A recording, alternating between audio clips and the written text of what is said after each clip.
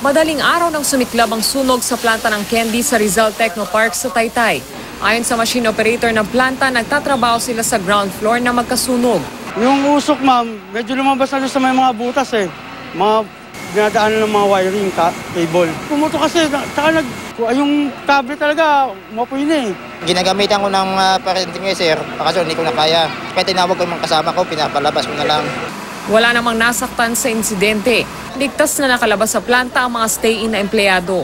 Ayon sa BFP, nagsimula ang sunog sa cutting area ng planta pero iniimbestigahan pa ang sanhi nito. Yung mga plastic, yun na lang po yung nagpapapo. Yung mga, at saka yung mga ibang karton. Kinumpirma naman ng BFP na wala pang fire safety inspection certificate ang planta. Ipinoproseso pa raw ito. Iimbestigahan ng BFP kung may paglabag sa fire code ang planta.